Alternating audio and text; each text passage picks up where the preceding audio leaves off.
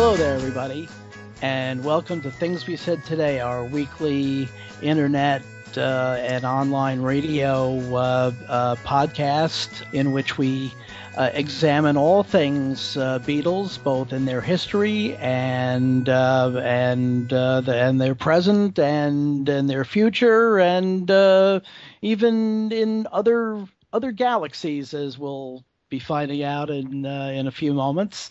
Uh, I'm Al Sussman from Beatle Fan Magazine, and I'm here with my uh, three co-hosts. First, the host of the syndicated uh, and uh, and internet radio Beatles radio uh, show, Every Little Thing, Ken Michaels. Hi, Ken. Hi, Al. How's everyone doing? Great, Ken. Uh, and uh, the uh, the reporter for Beatles Examiner, uh, who has been busy much of this weekend. In fact, he has a, a breaking story uh, as we're recording this on Monday evening, uh, and that's Steve Marinucci. Hey, Steve. Hey, Al. Hello, everyone and our resident musicologist, a longtime contributor to uh, to Beatle Fan Magazine, longtime critic for the New York Times, and currently uh, writing for a number of different publications, doing classical music and other things. And that's Allan Kozinn. Hey, Allan. Hey, Al. Hello, everyone. Before we get into our main topic, though, as I said, we do have a piece of uh, of breaking news, and as uh, seems to be happening almost on a weekly basis, it's sad news, and it's the the passing of Allan Rouse, who was uh, well, actually, you know what? I should have I should have Allan really kind of give you uh, a full kind of bio on Allan Rouse. He was he was involved with the Beatles anthology and the remasters, but Allan can tell you much more. And uh, and the Love album as well. Basically, Allan Rouse was the uh, was in charge of the archives at Abbey Road, and um, he went on staff there, I think, in 1972, and basically the first job he was given was to copy the entire Beatles uh, archives. Well, uh, probably not in 1972, but apparently early in his career, he was asked to copy the Beatles archives digitally.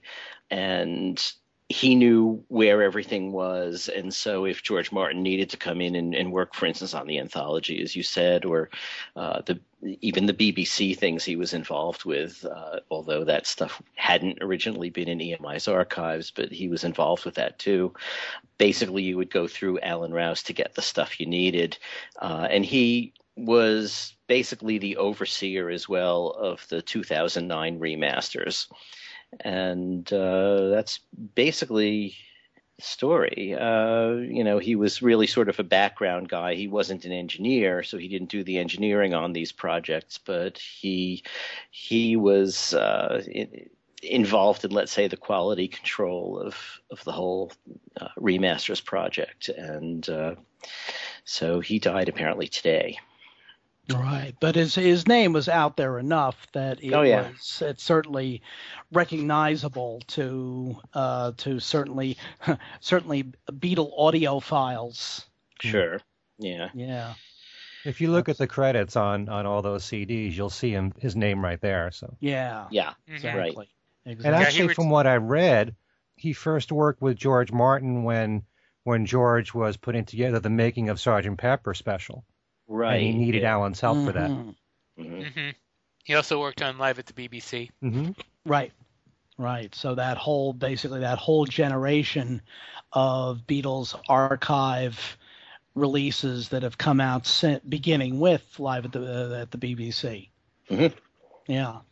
So that's certainly uh, he's a, a, significant piece of uh, more recent uh, Beatle history, and uh, once again a uh, a loss in in the Beatle family.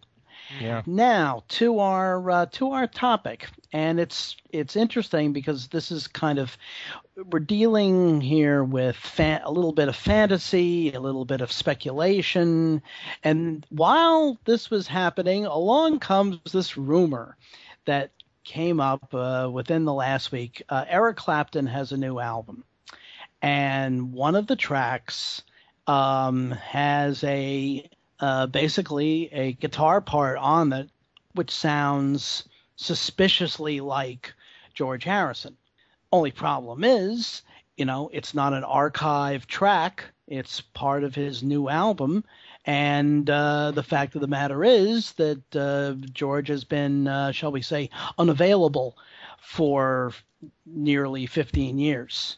So, uh, so that's one of those one of those things that happens in social media these days, where suddenly everybody goes crazy over some tiny little bit of speculation. But aside from that, we had decided for this particular show to do something obviously in their in their post Beatles careers as opposed to the uh, the group career where mm, you know they really had very little in the way of sidemen, but in their post Beatles career, each of the Beatles worked with a number of different musicians and and a number of different producers and all.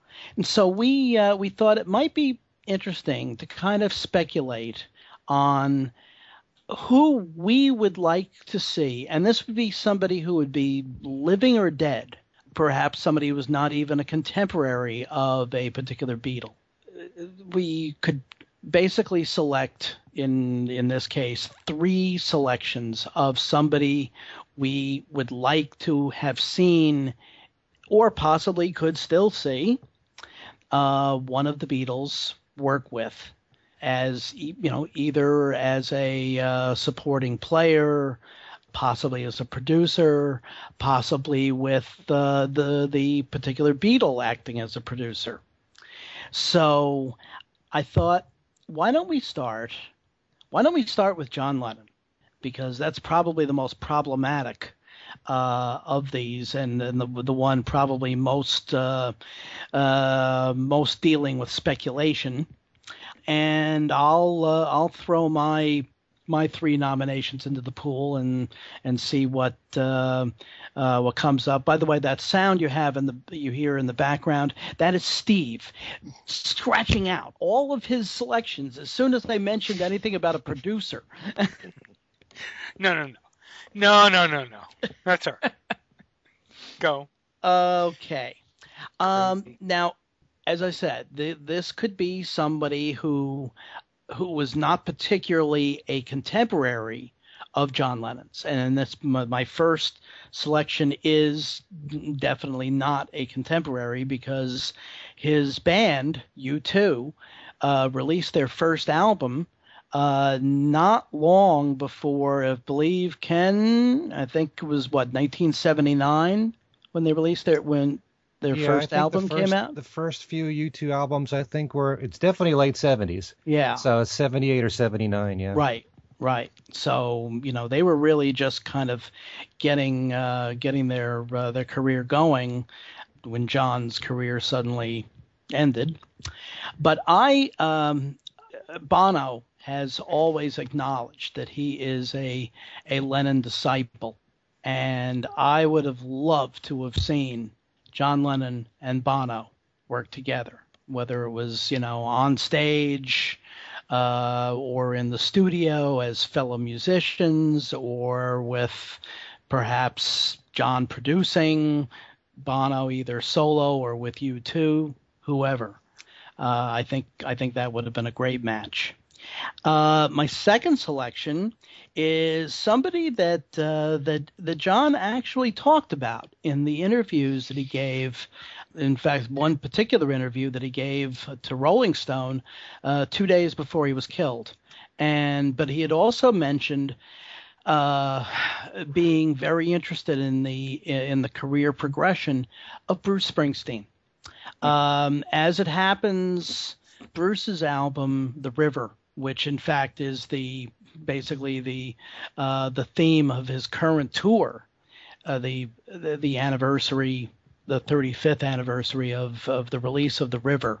The River was released basically right around the River and also the single uh, Hungry Heart were released right around the same time that Starting Over and Double Fantasy were released in October and November of 1980.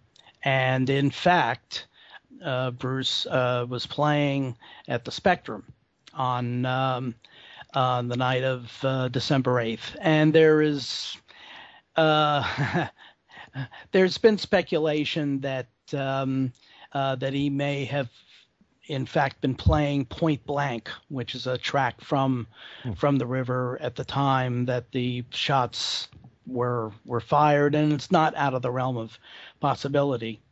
But anyway, uh, John had actually expressed a great deal of interest in the the, progression of Bruce's career, and he uh he mentioned liking Hungry Heart quite a bit, and he was very interested to uh, to hear the River. Whether we actually got to hear it or, or not, we uh, we don't know.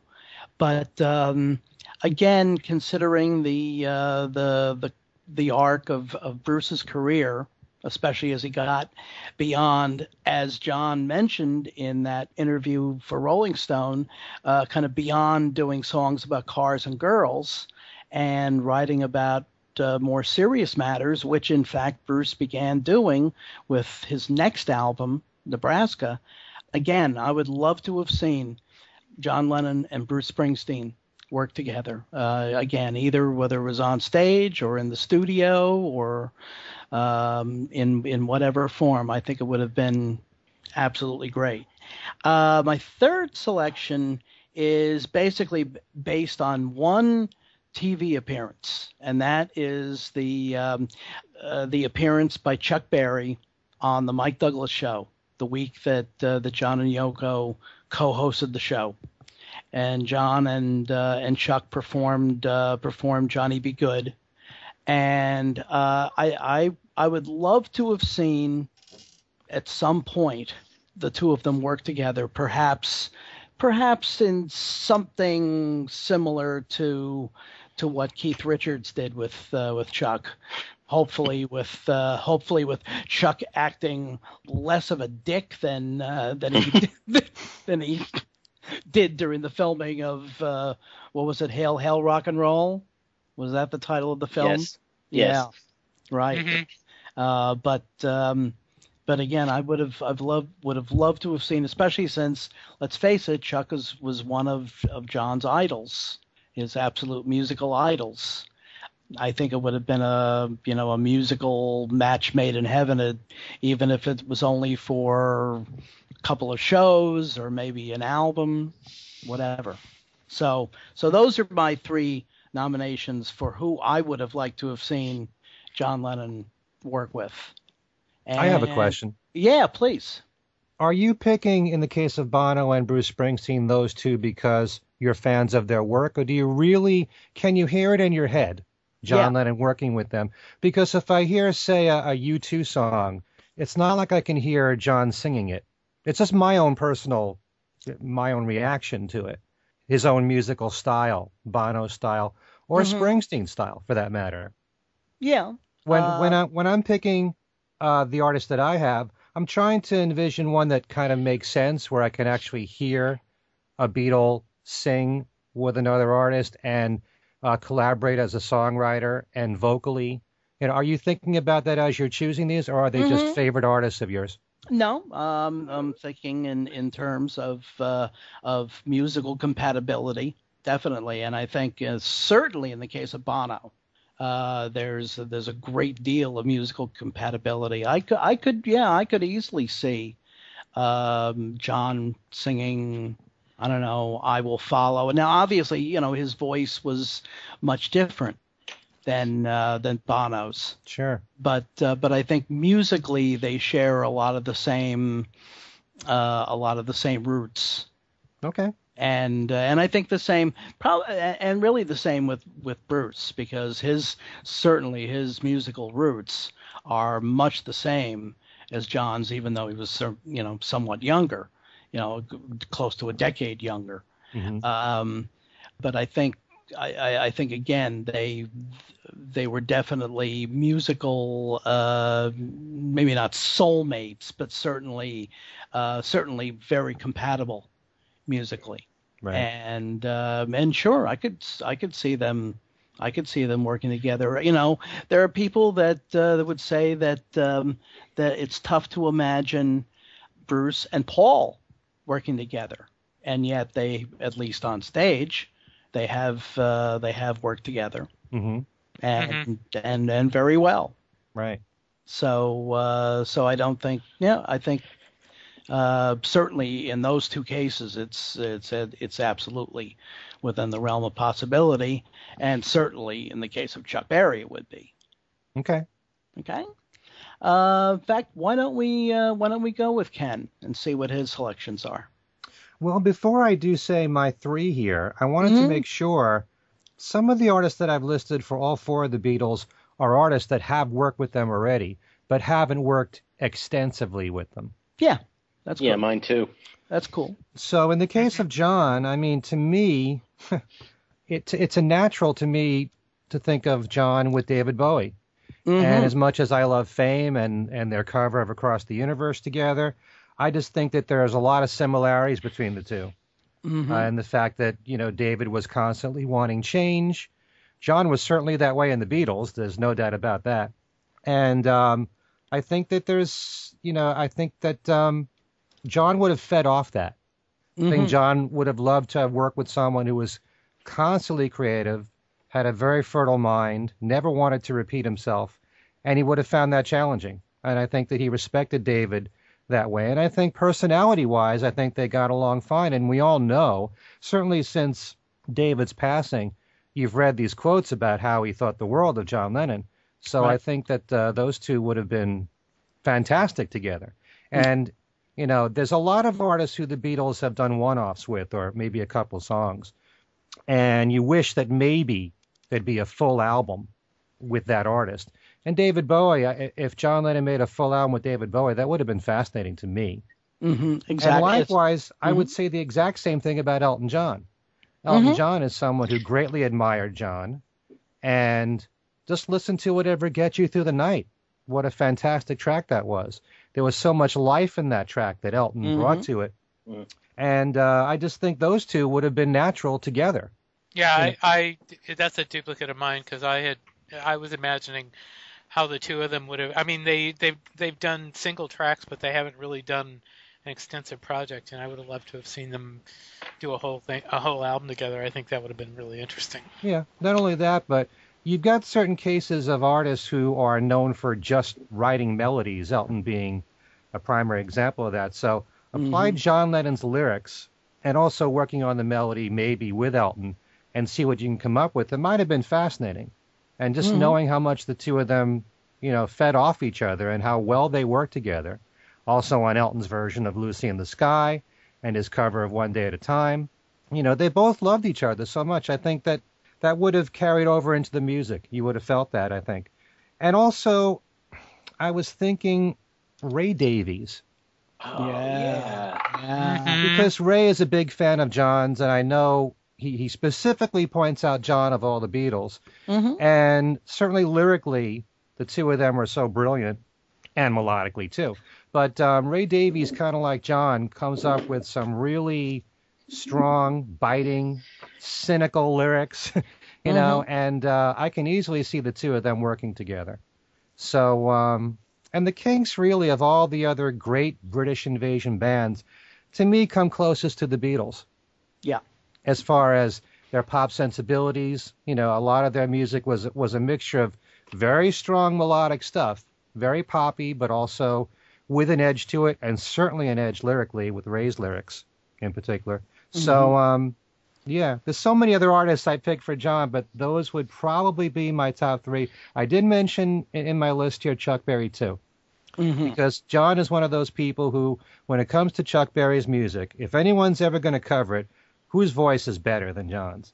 Exactly. You know, it's kind of like Paul with Mhm. Little Richard. You know, it's it's the same thing. So, um, yeah, I would pick the three that I said, and and sorry if it's artists that John already worked with, but I think John picked two of the finest people there that he could collaborate with, Mhm. uh, David Bowie and Elton John, and Absolutely. and, and uh, throw in uh, Ray Davies. Yeah, absolutely. And in fact, it was actually David Bowie's passing that put this germ in my mind about something like this because of the fact that uh, that you know he only got the chance to work with uh, with John the one really the one time, Mm-hmm. and it would have been it would have been really fascinating to see him work uh, with uh, with John more throughout their you know throughout their their career, you know as time as time wore on. Right. But um, and and also to see if possibly um, possibly if if David had worked with any of the other Beatles.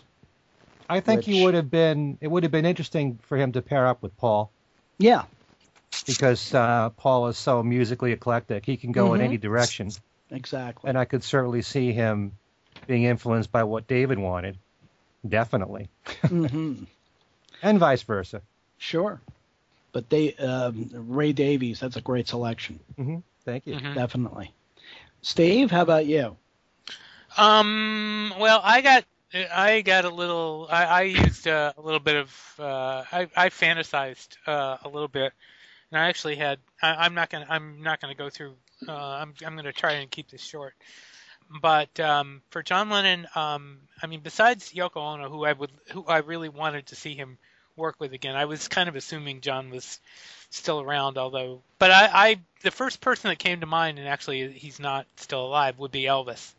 I would love to see the the 50s Elvis and, and John together back in the day. I think that would have been. I mean, John has always has always uh, acknowledged Elvis Presley as his influence, and to hear the two of them together, you know, at, at that era and their at that point of their lives would have been, I think, fantastic. Um, another person, I like I said, I was just kind of flying flying off the, the handle here. Um, and Allan probably knows this name uh, well, is Blossom Dearie. And Oh, Blossom yeah. Dearie, Blossom Dearie wrote a song about John actually, and um, I have uh, loved her voice ever since um, I uh, went to a, a friend's house in Los Angeles. And uh, Saki, if you're listening, it's you. Um, and she was the one that, that turned me on to Blossom Dearie, and I have loved Blossom Dearie's voice ever since. And and I was um, I loved the fact that that Blossom Dearie wrote a song about John, and, and maybe wonder if maybe there was a little more there going on. But I would have loved to have seen the two of them work together. Um, and and another person that just came to me out of the out of the blue completely, and I can't imagine how this would have worked. Would have been Amy Winehouse. And I, I'm just being really imaginative here, and I can't, I, I- you know, I have no idea how that would have worked. I mean, uh, you know, basically with Elvis, I think John could have worked with any of the old rock and rollers, but I was trying to be a little, a little weird, and that's why I picked Amy Winehouse. I would have loved to have seen the two of them together. It would have been interesting. So Hmm. there you go. Hmm. Or Kurt Cobain. Yeah, not so much. I'm not as big a fan of Kurt Cobain. I, I like Amy Winehouse better than I like Kurt Cobain, but yeah, Mhm. that would have been interesting too. Yeah, So absolutely. Yeah. Well, I could see Kurt Cobain actually. Um, Mm-hmm. But I was thinking uh, Chuck Berry naturally was on my list too. What I was thinking more for him though was that you know an album of new stuff, of new Chuck Mhm. Berry, John Lennon Yeah. collaborations. Mm-hmm. Uh, maybe get Keith Richards in there too to keep you know have the two of them gang up on Chuck and keep him you know right. uh, working. hmm But because you know Chuck Berry doesn't really do new stuff anymore, but uh, you know there may be Right. something there that those two could have um, you know squeezed out of him. I was thinking as well of in terms of people John has worked with. I I kind of like that outtake of "I'm losing you" with Cheap Trick, and I thought Mhm. maybe you know John and with Cheap Trick as a a backing group or perhaps collaborating on some songs um, could have been good. Um, Mhm. equally it could have been the Smithereens, you know. Um, hmm both of those groups have basically the sound that John was comfortable with. I was thinking maybe before you mentioned Kurt Cobain, which may actually be a better idea in a way, but I was thinking of John and Elvis Costello because Elvis Costello Mm. seems more a John guy than a Paul guy to me. Mhm. Um, of course, when he started working with Paul, John wasn't as, as uh, I think Al said, available. Um, right. but uh, you know, there's there's something about Elvis's cutting edge that works great with McCartney because John's cutting edge worked great with McCartney. But I think the two of them, um, you know, for the same reason that Ray Davies would be a good choice. You know, Elvis Costello is a brilliant lyricist, and uh, and I think that um, I think that could have worked. You know. Uh, and then my third one, because I wasn't counting Chuck Berry really, since it was uh, was um, John Cage. John You know, I thought, I, th- I, I, you know, I thought of that, Allan, and I, I, I, I wondered how it would work. Um, But- here's how it would work. Mm-hmm. Um, it would work in pretty much the same way that John's avant-garde stuff worked with Yoko, except Mhm. that you know John John Cage. I mean, John Cage and Yoko in some ways work to similar kinds of rules in the sense that they start a, a piece. I mean, it, it may sound to a lot of our listeners as just a free for all, but you know, they usually start with a set of conditions that you know have to be, you know, like Yoko's instruction pieces, you know, uh, breathe in, breathe out, or whatever. I mean, it's a simple kind of thing. But Cage's Cage's pieces sort of uh, were a little more complex than that, but you know, also involved taking into account what was going on or throwing the I Ching and, you know, selecting any of a number of predetermined uh, actions and then doing them. I think John could have gotten into something like that because, you know, you listen to his, the, zany tapes he made that you know were those sort of little radio shows and things and uh, and there there was also another unreleased avant-garde album that he recorded at least a side of that there's film of him doing in uh, Man of the Decade. And I think it was called Laugh or the track was called Laugh. Basically everyone's laughing. But uh you know I think I think he could get into a, situation where say he and Yoko and John Cage get together decide what the pieces are going to be and then do them. And I'm I'm sure that he would bring something specifically of his own to it perhaps as a guitarist. You know John mm-hmm. Cage is isn't mm-hmm. really big on electric guitar but John could have added that aspect. So those are those are my three for John. Only little caveat I've got is that do you think that maybe Elvis Costello and John might have been too similar? possibly that's why I think maybe Kurt Cobain, Cobain would have been a better choice than Elvis. yeah, possibly. yeah You know, because you know, especially vocally. Yeah, thinking that's that's true, but they would have been, I think, maybe so much on the same wavelength that. Um, Oh, sure. uh, and I think they would have pushed each other because Elvis Costello's writing, you know, depending what part of his career you're talking about, I was it- just going to ask what yeah, which is, is, which Elvis are we talking about? well, I don't know. It would have to be. The the young the young angry Elvis or the you know the more uh, the more you know, poetic later the, Elvis. yeah You know, I Mhm. think I think that would push John in an interesting direction, but I think the young angry Elvis is the one that John would have been immediately comfortable with. oh I'm sure. you know. So yeah, those are those are mine. Okay, well, we've we've taken a look at the musicians that we'd like to see John Lennon have worked with. Let's go with the other one that's kind of a problematic situation in that the fact the fact that, as mentioned, uh, George Harrison hasn't been available for nearly 15 years. So I'll uh, I'll give my nominations first. During his career, uh, George worked with you know probably every you know every major rock guitarist out there except with the possible exception of Carlos Santana.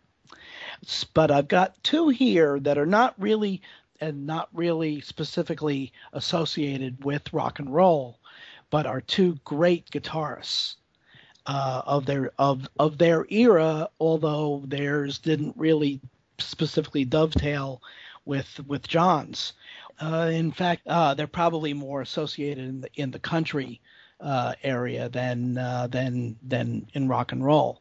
Uh, one is Albert Lee, Albert Lee, not Alvin Lee, uh, who is Hmm. uh, who is a great country country pop guitarist out of England.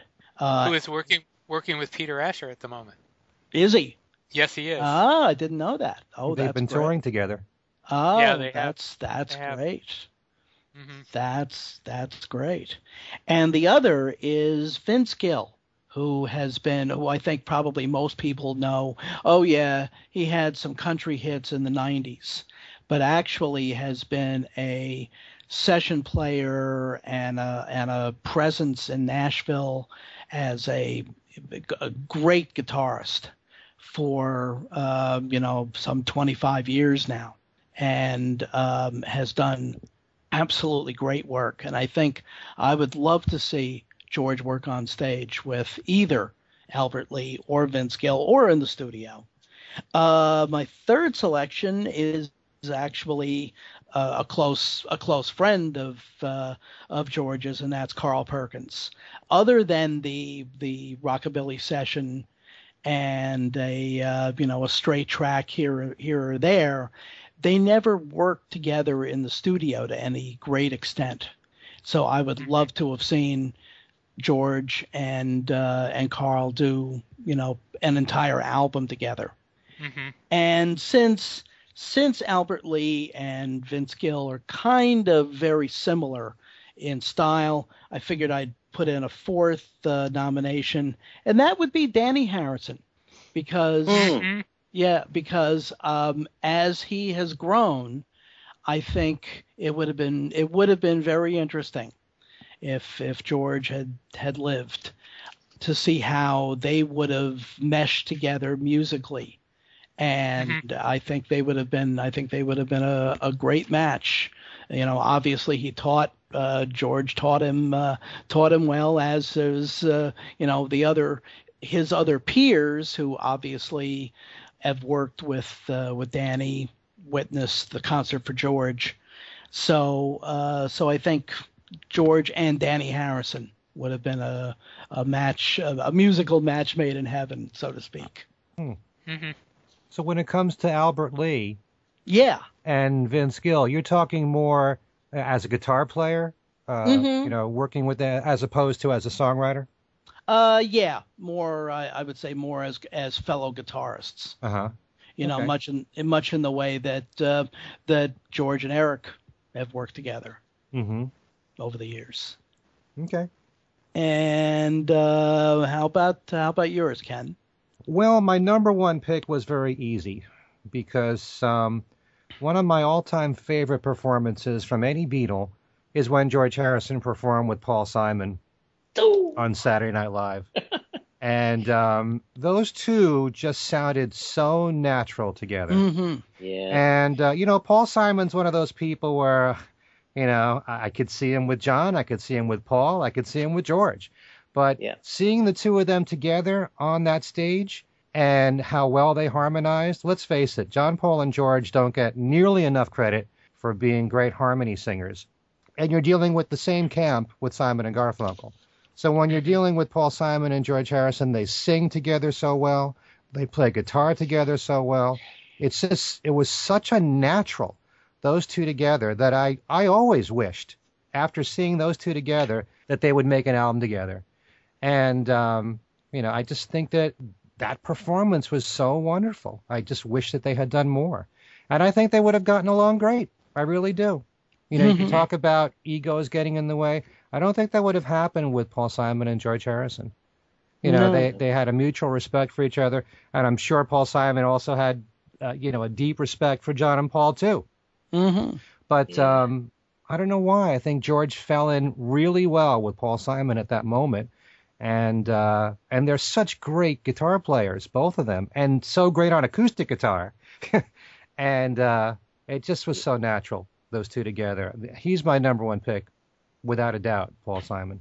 Mm-hmm. Second one, you're going to be baffled by my saying this because I picked Eric Clapton. And the only reason why I picked Eric Clapton is that even though they've done a lot of work together, they didn't write together outside of Badge, Mm-hmm. you know, and um, that's the only song we know of that's a Harrison Clapton composition.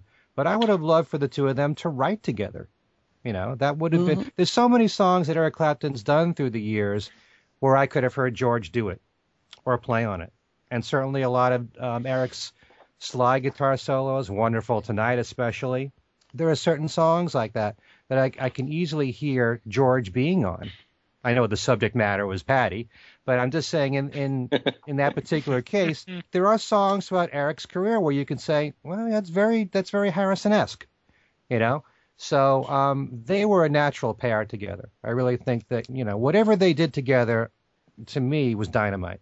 I thought they were a natural a natural pair, George Harrison and Eric Clapton.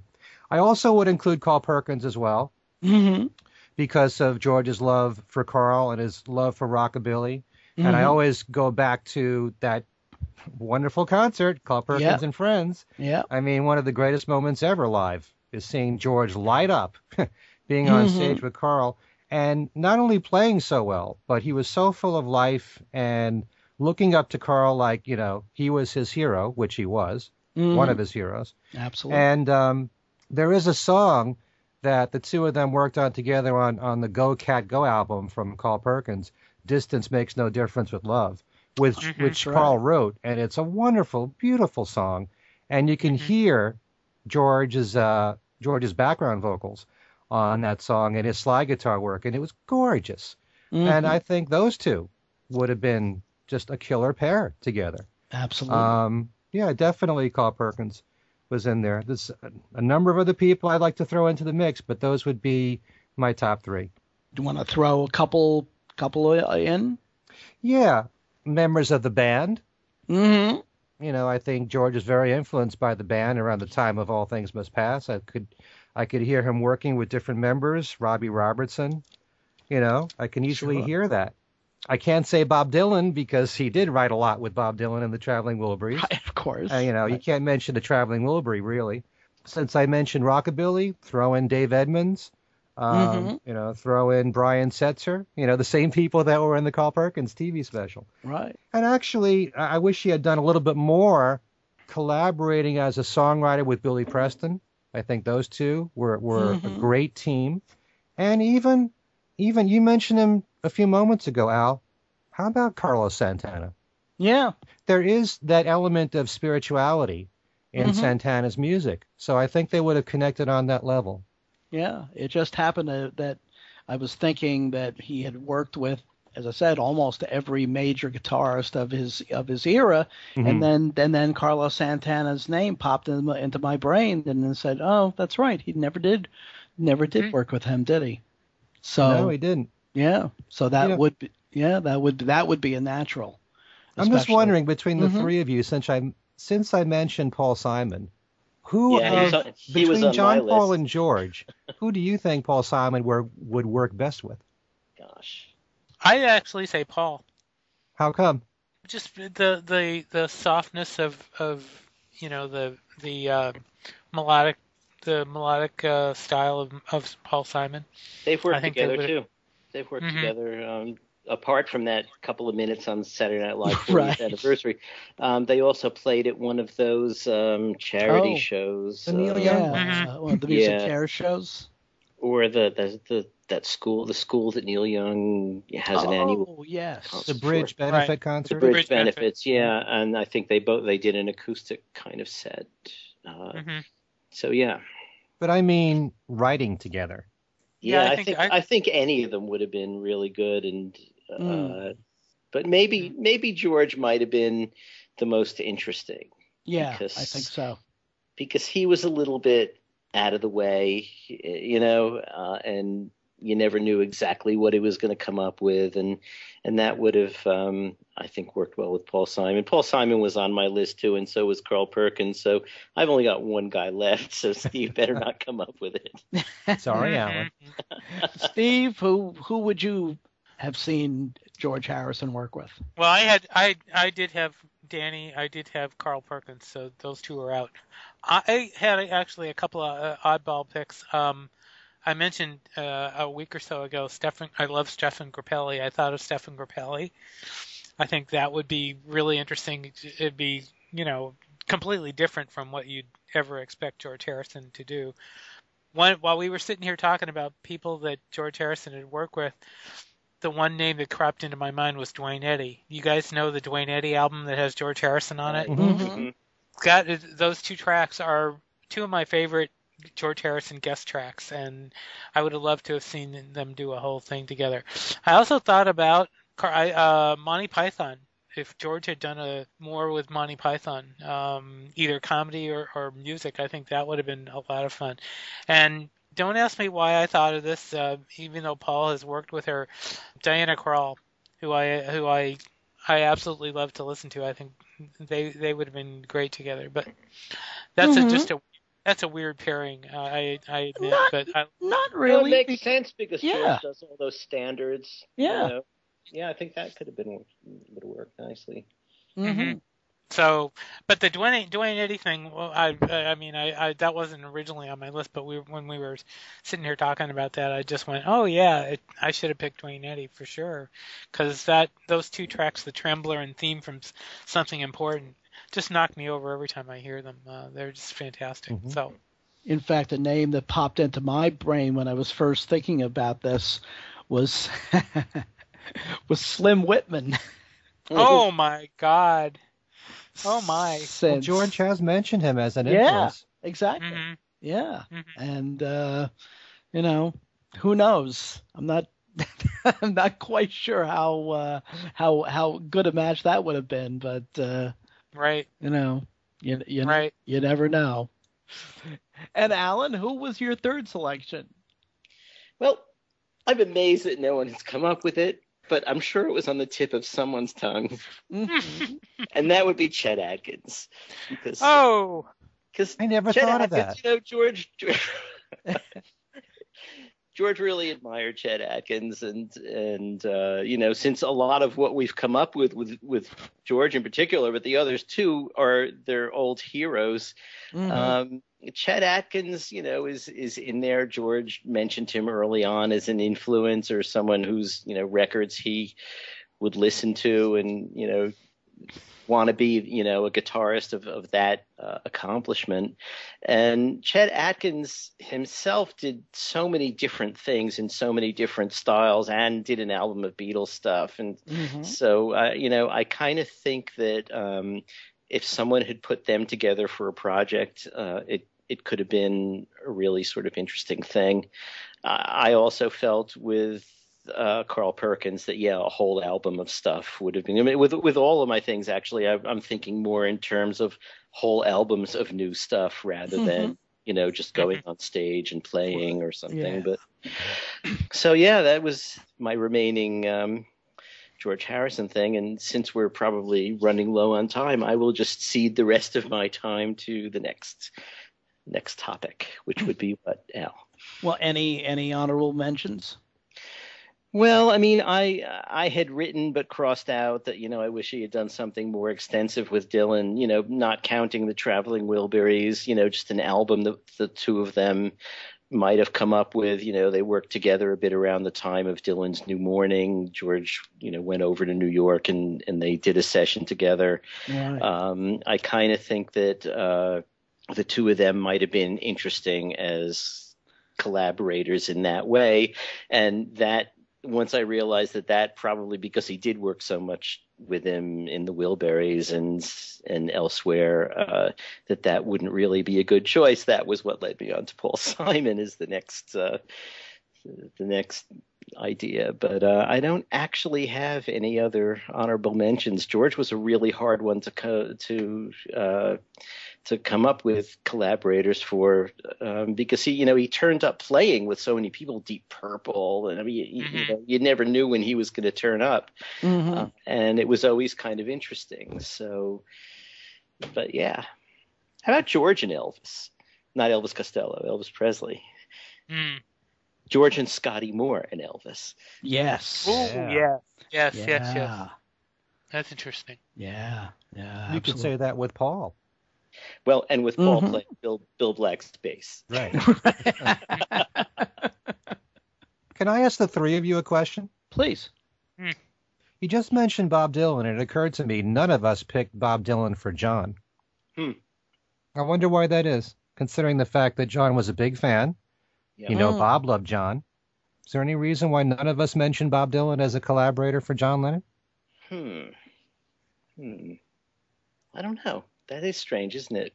Yeah, I don't know. Maybe maybe we felt that the Dylan wasn't quite in John's kind of you know more rock and roll pop musical wheelhouse that it was somewhat outside of that then um, that's yeah I, I think that's probably at least a at least a stab at a reason hmm why any, No, that I can see that. That makes Yeah. sense. yeah any any dissenters on that Mm-mm. Mm-mm. yeah But you couldn't see John with Bob Dylan doing an acoustic guitar album. I really couldn't see John doing an acoustic guitar album. Right.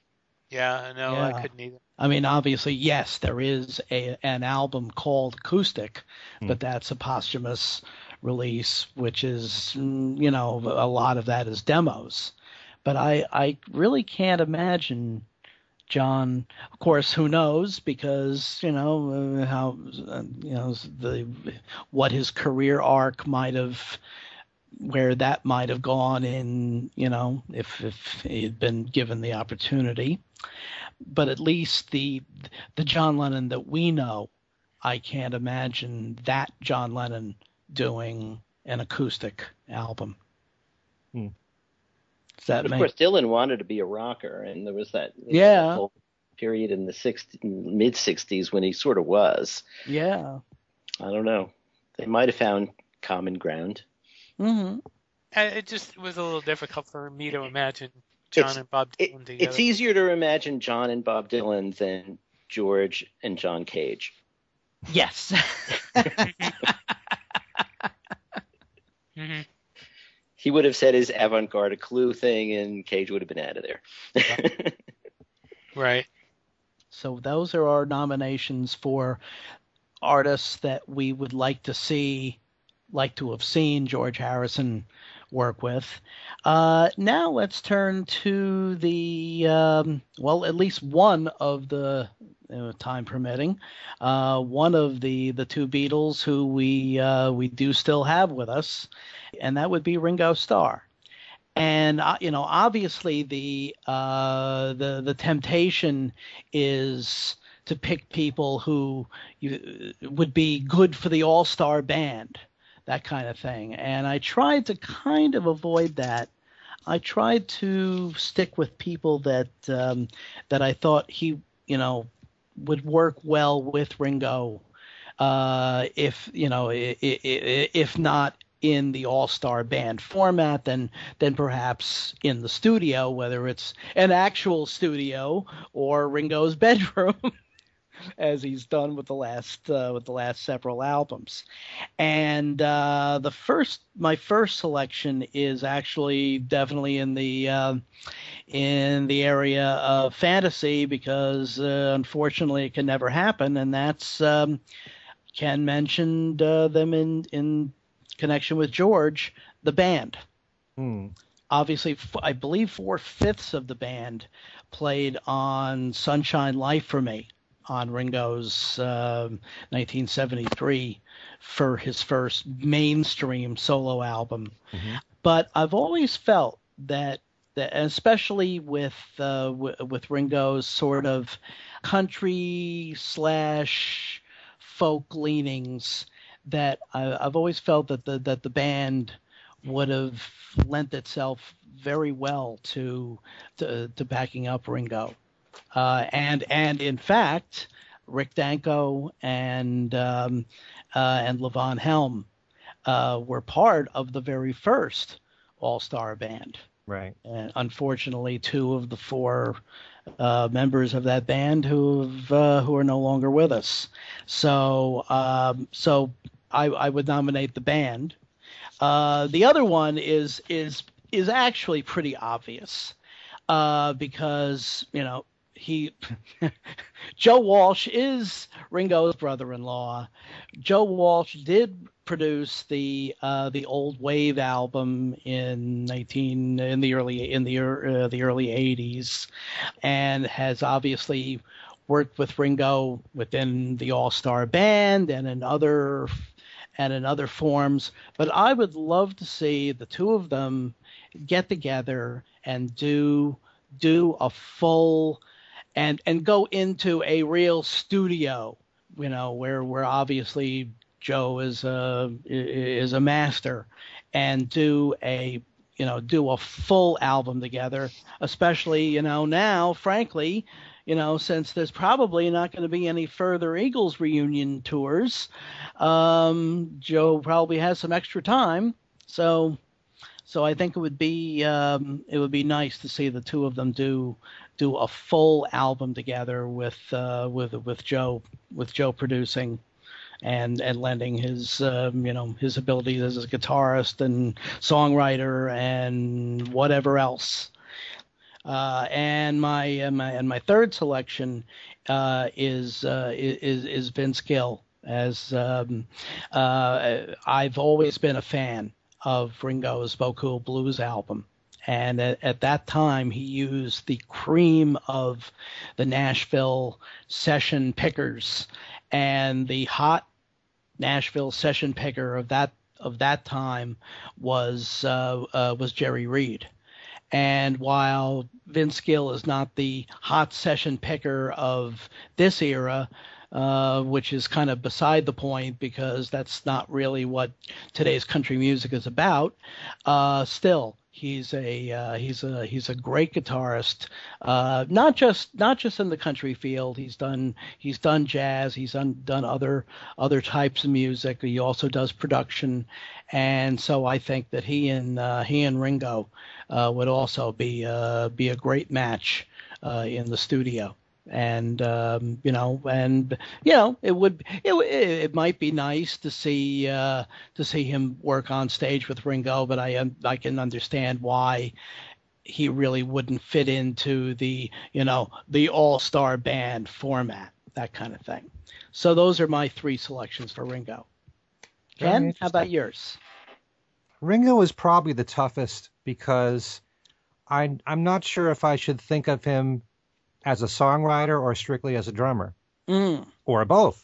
You know, there are times when I'd love to see Ringo drum for someone else, and because I've been so impressed in recent years with how much Ringo has been writing, but yet at the same time, it's hard for me to imagine as a songwriter who would Ringo work best with.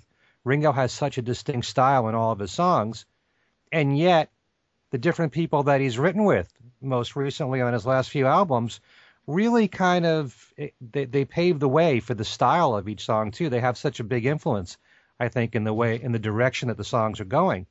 But kind of like you, Al, I was thinking in a country direction, mm-hmm. and I I really also thought that the band would work really well with Ringo, mm-hmm. doing something with Ringo. And like you said, the Ringo album, Sunshine Life for me. Um, you know, Ringo was there at the last waltz. I think that they, he would have worked really well with members of the band. Um, mm-hmm it's hard to pick one specific person, uh, but I would definitely like to to see to have liked him work more with members of the band uh, because of his love for country. And I was told many years ago that he loved the outlaw music of the mm, 70s. Maybe yeah. somebody like a Waylon Jennings. Um, I know that he worked with Willie Nelson for mm-hmm. Write One for Me on the Ringo Rama album. Right. Some someone like that. I think that Ringo would work very well with classic country artists. I'm not sure how he feels about current country because I never have heard him talk about any artist of today in the country field that that he would like. But there are a lot of people that, you know, like you said, of Blues, I think, was so suitable for Ringo. Mm-hmm. Uh, you know, he, he really fits the, the country genre so well. And um, to work with any of the classic country artists, I think, even Dolly Parton, believe it or not, you know, I know Yo, that may yeah. sound funny, but Not she's a, a, huge Beatle fan. Mm-hmm. And uh, you know, people from say the 60s and 70s and those those artists who are still active from that time period. Mm-hmm. I'd like to see Ringo work with those. I'm kind of curious, and I'm not quite sure how you guys would feel about this, but it might be interesting to hear him, to hear Ringo work with another drummer. Mm-hmm. And I was thinking in mm-hmm. particular, what would it be like if Ringo worked on a project with Phil Collins. And the only reason I mention Phil Collins is because Phil is such a huge Beatle fan, and he has such respect for the drumming in particular that Ringo did in the Beatles. What would they work on together? Mm. They've never worked together before? Well, live. Yeah. they've worked together, but not in the studio. Really? No. Hmm. Yeah. I, I I think I think it would be fine. Yeah. I don't, Yeah. uh, you know, I uh, uh, Phil Collins doesn't come across to me as as dis- really distinctive. I, I, you know, I I thought about drummers too, uh, but I didn't think Phil Collins didn't come to mind. As There a were two- drummer, you don't think he's distinctive? I don't, I, I, as I didn't. Well, I mean, I don't think he's as distinctive as the other person I was thinking of. I think uh, I would have loved to have seen Ringo work with Keith Moon. Mm-hmm. myself. And actually, not to get ahead of it, but I had also picked Mickey Dolenz as kind of a, a all-star band thing. But I think Mickey Dolenz would be great. And actually, I asked Mickey uh, uh, in an interview a year or two ago, and he said he would absolutely love to be in the all-star band. I mean, they know each other from way back, so they're Mhm. you know they're old friends. Sure. They used, he used to hang around in the uh, you know in the uh, crazy days Yeah. uh, right. because he knew he knew he knew uh, he was a good friend of Harry Nilsson. Yeah. So, um, but I think I, I, Phil Collins just doesn't doesn't spark me. It doesn't doesn't get me excited. Mickey um, Keith Moon and Mickey Dolenz would, however.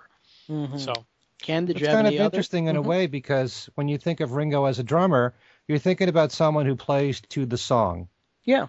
You know, and it's really all the interesting fills that he brings to the song. He's not a show off person, Right. you know, and Keith Moon is was the exact opposite of that.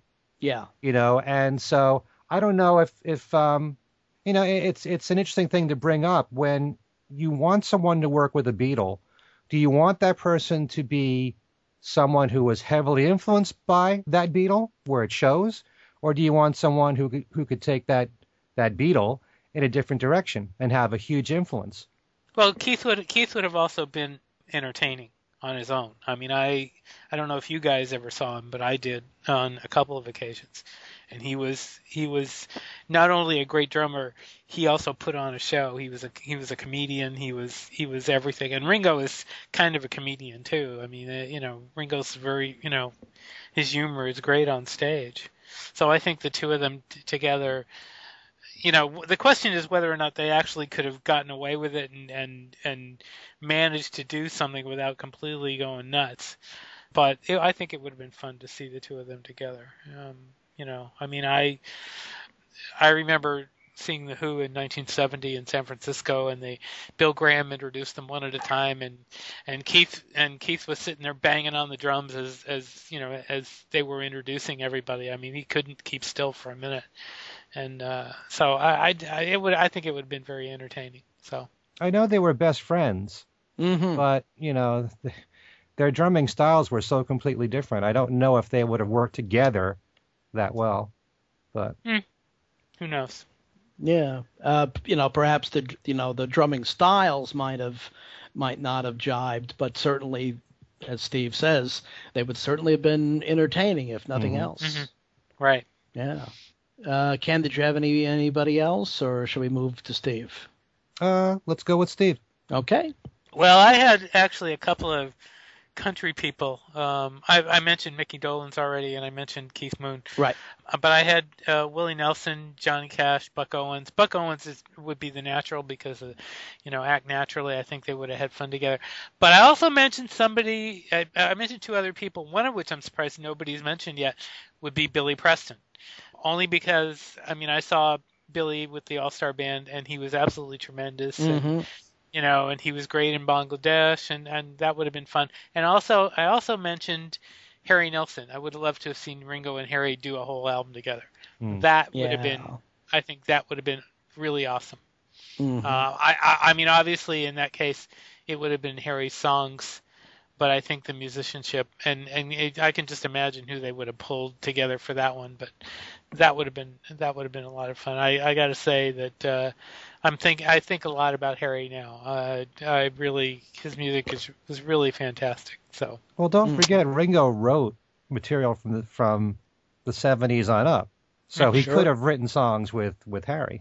Yeah. It Sure. Wouldn't have had to have been strictly Harry's composition, totally. no, but I think but Harry, you know, Harry was so distinctive. Harry's music was so distinctive. It would have been great to hear what they what they worked together on, or if they did write together what they would have come up on. But Harry, I think, would have taken the lead for sure on that. So, although again, they you know they were so close personally that Mhm. maybe mm, you know you know as as was the case with, with with Keith Moon that maybe it might not have worked terribly well because of the fact that they were so close personally. I think it probably would have worked better than You know, Keith Moon. But, like- but You know, like John and John and Harry were close, but not as close as Ringo and and uh, and Harry. You know, they were they were absolute soulmates. They were best friends. hmm right, So- Harry. I mean, uh, Ringo didn't do any interviews for the Harry No. Nilsson documentary for that reason. Very true. So, anyway, I'm done. Okay. Take it away. And Allan? Okay, yeah, Ringo was really hard for me. Maybe because with all three of the others, despite the All Stars, uh, um, I don't think of him as a front man in the same way. And uh, I, I'm so I, I, couldn't really think in terms of you know what I was thinking of Ringo doing Mm. uh, in in a collaboration. That said, I could see him playing on George Harrison's collaboration with Chet Atkins. Um, um, or you know, uh, I think uh, you know Carl Perkins comes up in in almost all of these uh, uh, pairings. I think Ringo and Carl Perkins could have done something, you know, a full full length project um, that Mhm. would have been interesting. But one you know odd thing struck me is Mark Knopfler. Now I don't know why Mark Knopfler for Mm. Ringo more than the Mm. others, but for some reason you know, it, it just seems to, you know, because Mark Knopfler has that little bit of an edge of country, but Mhm. also rock and roll. And I kind of think the two of them would be amenable, you know, it would, it would be a, a nice pairing. Um, if they wrote together or even if they, they just came up with something where Mark Knopfler's doing most of the writing, but they're collaborating on the, the full project. But my my main one, um, I can you know top the idea of Ringo collaborating with another drummer Mm-hmm. and have him collaborate with four other drummers. Uh oh. There is a classical new music group called So Percussion. And So Percussion does all kinds of stuff. I mean, usually they're full length evenings of one composer's stuff. Um, one of them composes. Um, they have just finished or, or just putting out an album um, written for them by Glenn Kotche from Wilco Mhm. uh, who's been writing a lot of classical stuff. I mean, they're not a crossover group; they're a serious, you know, new music classical group.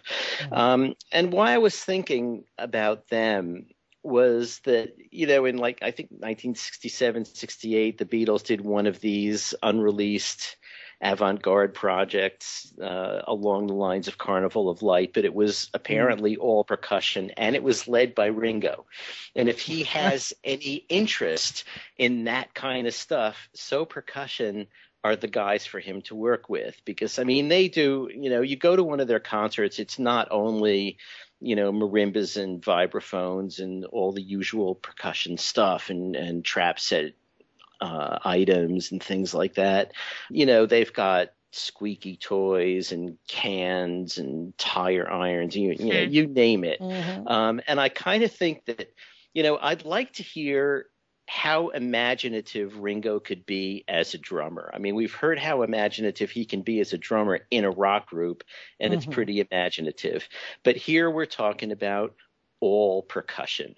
And I kind of think that, you know, he could just go crazy and they would be, you know, perfect collaborators for that. I'd love to see something like that. He could actually out out avant-garde Paul. Yeah. and John. you know, but come up with, you know, I mean, the stuff So Percussion does. I mean, I, I really love them, and um, uh, you know, it's you wouldn't think that you know full evening of percussion music is necessarily going to be that interesting, but it is Mhm. when they play it, and and there are other percussion ensembles now too, but um, but I think they're you know one of the best and i think that i don't know why i just think that could be a great collaboration let him just go go nuts Mhm. Hmm. Drumming very is his madness Yeah, exactly. That's very interesting. I mean, it's it's it's not out of the realm of possibility because, you know, because Ringo has over the years talked about you know the, the influence of drummers from other you know other musical genres, people like Buddy Rich, mm-hmm. On him. So uh, so something like that definitely. Uh, you know, it's not it's not as uh, as wild uh, as it sounds. No, I, I, don't think so. I'll, I'll, tell you another another reason. I guess in the back of my mind is um, I went to a taping of something Ringo did. Might have been Artist Den. I'm not sure. It, it was taped at the Metropolitan Museum, and he did some things. I don't know if they ended up in the finished show. They may not have actually, but um, you know, he there was one one piece where he was standing in front drumming on. Um, I'm not even sure what it was. Uh, maybe a conga, uh, mm-hmm. and it and the skin broke, and so his drum tech had to, you know, replace the drum or replace the skin, and so he was talking while that was going on, and and it just seemed to me, you know, I mean, like anybody who plays an instrument, you know, your instrument is is so much part of you in a mm-hmm. way. Sure. And mm-hmm. somehow or another, you know, as a as a guitar snob, I guess I never really thought that way that that it was like that for drummers too. But in this incident, you you could really see it, and I thought, you know, there's something, you know, there's something that aside of Ringo that we haven't really seen in full flight, and mm-hmm. that is, you know, the the whole you know drummerama thing. You know, it, it's mm-hmm. and I I just would love to see that. Well, hey, his his drums loom large in his legend. mm-hmm. That's true. That's true. Okay, well, I think we've we've finished up with Ringo. Now we have one Beatle left, but we're well over time anyway. So I think we're going to have to save Mr. McCartney for uh, for another time, and uh, since especially since that's going to be uh, that's going to be a battle royal, I'm sure. There's going to be uh, there's going to be plenty of nominations, so that could that could fill up an entire show. So uh, so we will uh, we will save uh, Mr. McCartney for that one, definitely. But this has been this has been a lot of fun. Absolutely, uh, and I think uh, we'll uh, uh we need to uh, to wrap it up here. And uh, first of all, let me go over to Ken because I think he's got some plugs relating to his website and to his his radio show. Actually, yes, on my website, which is kenmichaelsradio.com. I mentioned this in our last show, but there's a special contest that I'll be doing and if anyone's listening, as soon as the show is posted, which is on a Saturday, I'm doing one for Kit O'Toole's uh, two most recent books. One is called Songs We Were Singing Guided Tours to the Beatles' Lesser Known Tracks. And she also mm-hmm. has a new book out on Michael Jackson called mm-hmm. Michael Jackson FAQ. And you can win both books on my website. Just go to kenmichaelsradio.com for all the details for that. And one other thing I wanted to mention is that on March the 6th, I'm going to be emceeing a concert for uh, two Beatles tribute bands, and I know Steve is familiar with both of them. One of them is called After Fab, and this is a mm-hmm. band that specializes in just solo Beatle music, and they're fantastic. They're out of Massachusetts, and um, there's another band called Studio Two, and this band plays early Beatles music the earliest Beatle music that they did for Parlophone, but also the stuff they used to do in Hamburg and on BBC Radio. And they mix all that together. So it's not the typical stuff that you would expect to hear in a Beatle band for actually both these groups, Afterfab and Studio 2. They're playing at the Hu Ke Lau Music Hall in Chicopee, Massachusetts. And that's on March the 6th, and I'll be introducing both bands. So if you're in the Massachusetts area, uh, do stop by. It's going to be an extra special treat because these are two very unique Beatles tribute bands. And, uh, you know, stop by, say hello to me, and talk Beatles. That's great. Sounds like a great evening. Mm-hmm. Uh, Steve, uh, how about uh, our contact information? You can get a hold of the show at Things We Said Today Radio Show at gmail.com. We have actually two Facebook pages, a radio show page and a group and a group page where you can talk about the show. I'm on Facebook under my name and under Beatles Examiner. I'm all over Facebook, uh, actually. But um, yeah, I mean, I've uh, you can get a hold of me at BeatlesExaminer at gmail.com if you want to write me about anything uh, Beatle wise. Um, there's all sorts of things going on. Um, so anyway, that's that, that's about it. Okay, and Allan, anything you need to uh, to plug? No, I don't think so. Um, you can get in touch with me on Facebook under just Allan Kozinn or Allan Kozinn Remixed, and uh, or at the any of the group's pages. Mm-hmm. Absolutely. And you can contact me at www.beatlefan.com, where we heartily, where Alan and I heartily endorse our colleague Kit O'Toole's uh, books. Absolutely. Kit is, of course, a long time member of the Beatle fan family, so uh, we will uh, go to any lengths to plug uh, to plug her uh, her fine books. Absolutely. And as I said, you can contact us at www.beatlefan.com uh, and uh, uh, www.paradingpress.com. On Facebook at Al Sussman and on Twitter uh, at ASUSS49. Well, this has been a this has been a fun uh, a fun exercise. At least I thought. At least I had I had fun. and uh, for uh, Steve Marinucci and Ken Michaels and Allan Kozinn, uh, this is Al Sussman. Thanks for listening, and we will see you next time.